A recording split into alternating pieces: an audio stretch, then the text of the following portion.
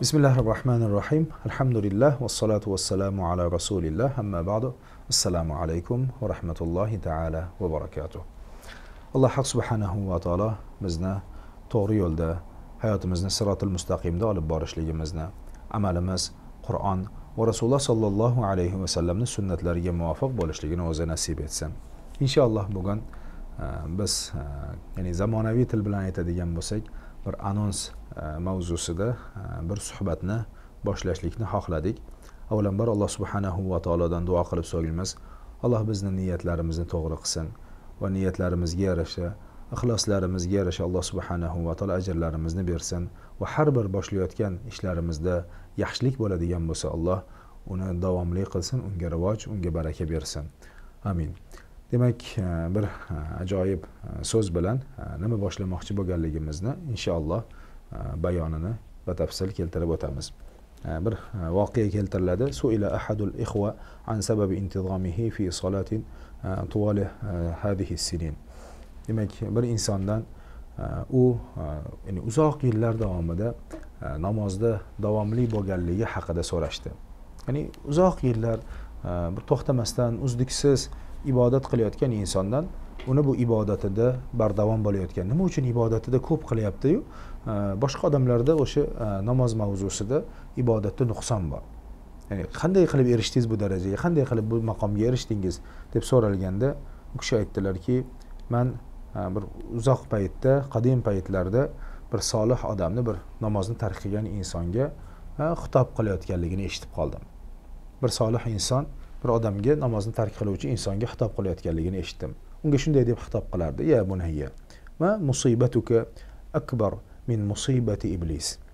Sani musibating shaytonni musibatidan kattaroqdir.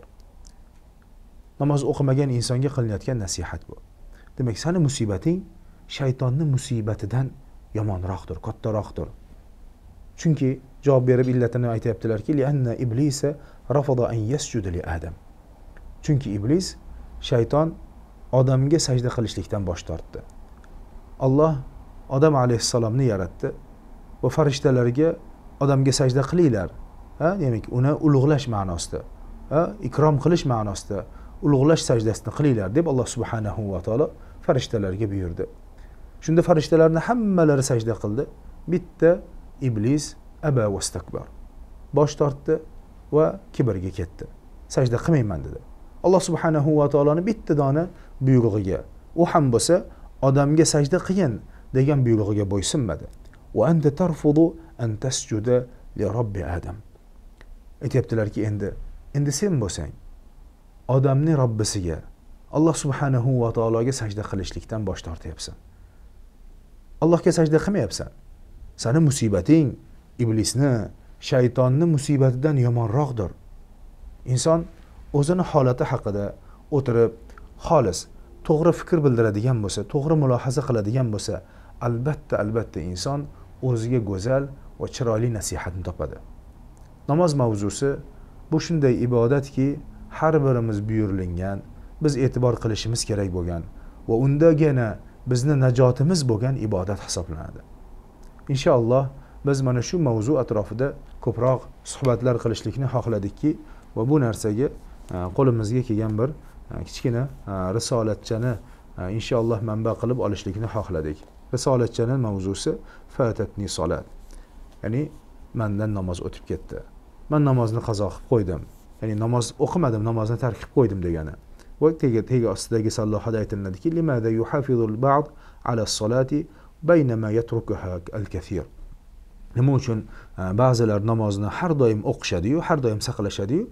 Shu o'rinda ko'p odamlar buni tark qilayotgan paytda. Ko'p odamlar o'qimayapti ba'ziga insonlarni ko'rsak namozda har doim davomli ekanligini ko'ramiz degan demak mavzudagi kitob.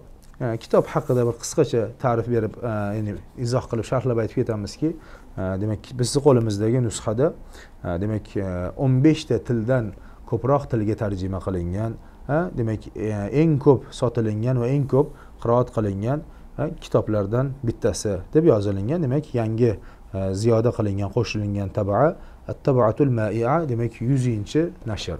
Demak bir necha marotaba takror va takror nashr qilingan va o'n beshta tildan e, oshiqroq bo'lgan tillarga tarjima qilingan E, kitoblardan risolachalardan biri. E, bu kitobni e, mualliflari islom jamal u kishi namoz haqidagi tafakkurlarini namoz haqidagi fikrlarini o'ylarini yozganlar. Ya demak ibtidosida birinchi qism ya'ni kitobni kirish avvalgi qismida bir insonni misol qilib keltiriladi. Aytadilarki bir man namozni o'qimas edim namozni tark qilardim namozga beparvo edim. Demak uyimni oldidan bir yoshi katta otaxon ko'p borib o'tardi namoz uchun. Yoshlari saksondan oshiqroq bo'lgan e, ko'rinishidan saksondan oshiqroq bo'lgan otaxon o'tardi. U kishi har doim hassasiga tayanib hassasiga suyangan holatda zo'rg'a namozga o'tib ketardi. Va u kishini sifatlarini fe'llarini ham izohlab qo'yadiki yuzida tabassum bor edi har doim. Yuzida bir chiroyli tabassum bor edi namozga o'tardi. Man uni holatini ko'rardimda u holatni ko'rib turib o'zimga uzrlar aytardim. O'zimga uzr aytardim. Mani uzrim bor. Va man falondagi har bitta holatda demak o'zimni uzrimni aytishlikka harakat qilardim. U kishi ketadi keyin bir necha muddatdan yana qaytadi. Yana qaytayotganini ko'raman. Qaytayotganini ko'ramanda soatimga qarayman. Qarasam bir necha daqiqalar ketgan xolos. Ya'ni ko'p hayoti ketmagan ko'p hayotini qismi ketmagan. Bugun masalan namoz o'qimaydigan insonlarni holatiga ko'rib nega o'qimaysan desa vaqtim yo'q deydi. Lekin aytyaptilarki kitobni mualliflari. Demak haligi otaxon ketadi va qaytib keladi man kelayotgan vaqtini ko'radigan bo'lsam ko'p vaqt ketmagan bo'ladi. Yana o'zim tafakkur qilib qolaman o'ylab qolamanki man shu vaqt oralig'ida nima foydali ish bilan shug'ullandim? Nima ish qildim? Boya aytdikki inson agar xolis turib o'zini hayotiga qarasa nimada yashayotganini ko'radigan bo'lsa o'zini o'zi chiroyli tanqid qila oladi inson. Bugun biron bir insonni haqorat qilishlikka unga qattiq gapirishlikka aslida ehtiyoj yo'q. O'rin ham yo'l ham yo'q. Har bitta inson shaxsiyatida o'zini nimada yashayotganligini yaxshi biladi. Ba'zida bizni hayotimizda o'zimizga uzrlar keladi. Uzrlar ayta olamiz. Mani uzrim bor ham man falonchiman. Kitobni mualliflari ham aytadilarki man o'zimga bir necha uzrlar topib olgan edim. Bir necha uzrlar aytardim. Va mana shu uzrlar aytadiki demak namozga ketayotgan paytida uzrni aytib turib xotirjam bo'lardimda nafsimni xotirjam qilardimda haligi otaxon qaytayotganda namoz vaqti o'tgandan keyin haligi uzrlar endi mani qanoatlantirmasdi. Yana boshqa uzr topishga harakat qilardim. Boya aytdikku vaqtim yo'q dedi.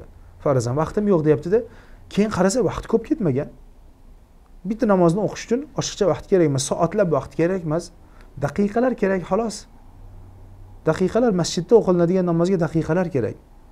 Masjidga kiramiz farazan o'n besh daqiqada masjiddan chiqamiz. Agar ko'p qoldik desak sanoqli daqiqalar xolos. Demak mana shu vaqtlar o'tib o'tib o'tib borardi. Man mudom o'zimni ichimda fikrlardim o'zimni ichimda haligi munozara qilardim tortishardim deydi. Va hattoki shu darajada o'ylardimki ba'zida deydi haligi otaxon bomdodga ketardi. Bomdodga borib masjidni imomi bo'lsa ham otaxonga bomdodni azonini bo'shatib berardi. U odam bomdodni azonini aytardi. Keyin endi bomdod paytida o'zimga uzr qilardimki aytardim ha bu odamni boshqa ishi bo'lmasa kerak. Bu odam bomdodgacha uxlamasa kerakda keyin bomdodda chiqib bomdodga azon aytsa kerak derdim. Man bomdodgacha uxlamasam bo'lmaydi. Endi uxlab qolyapman keyin ishim bor o'qishim bor va hokazo demak vazifalarim bor. Mani ishim ko'p bu odamni ishi yo'q derdim. Bir kuni odam bilan suhbatlashdim. Shunaqa degdim bildimki yo'q u ham bomdodgacha uxlar ekan. Bomdodgacha uxlar ekanda keyin uyg'onib borib turib azonni aytar ekan. Uni ham ishi bor ekan uni ham vazifasi bor ekan. Tabiatul amal deydi. Ya'ni mani ishim bunga to'g'ri kelmaydi mani ishim bunga muvofiq emas degan gumonlarim fikrlarim xatoligini ko'rardim.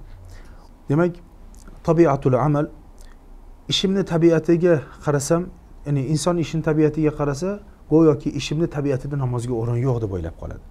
Namoz bu ishimni holatiga sig'maydi ishimni tabiatiga to'g'ri kelmaydi deb o'ylaydi.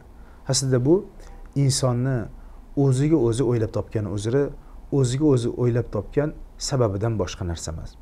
Yana muallif aytadilarki men hattoki shu darajada o'ylab qoldimki bu alloh subhanahu va taoloni fazli namoz allohni fazli allohni fazli bo'lgandan keyin alloh o'zini fazlini kimga xohlasa beradi kimdan xohlasa mahrum qilib qo'yadi.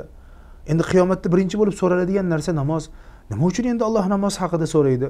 Alloh o'zi xohlab o'zi berar ekanu o'zi xohlasa bermas ekan. Nima uchun bunday qilar ekan nima uchun nima uchun degan narsalarni ko'p o'yladim deydi. Ko'p o'yladim.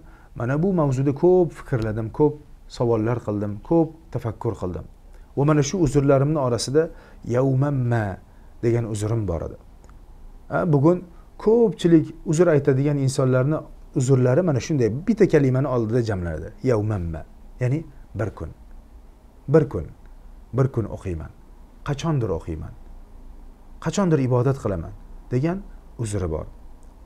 Mana shunday demak insonni ichidan kechayotgan kechinmalar insonni qanoatlantiradigan insonga chiroyli javob bo'ladigan va inshaalloh umid qilamizki bu kitobni agar biz o'qib hatm qiladigan bo'lsak nihoyasiga yetkazadigan bo'lsak inshaalloh bundan keyin namozimizda mustahkam bo'lishligimiz bardavom bo'lishlikka sabab bo'ladigan kitob degan ma'noda inshaalloh birga mutolaa qilishlikni xohladik. Alloh subhanahu va taolo bu ishimizni o'zi davomli qilsin.